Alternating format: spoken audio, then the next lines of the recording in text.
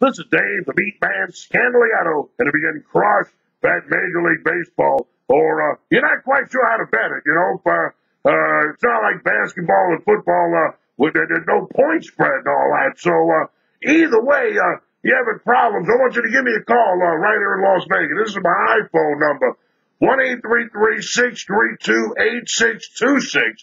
One eight three three Meat Man. I made it real easy. My name's Dave the Meat Man Scandaliato. So uh, why not have one eight three three Meat Man? One eight three three M E A T M A N. Now yes, I'll give you the comp pick: Houston Astros, Detroit Tigers.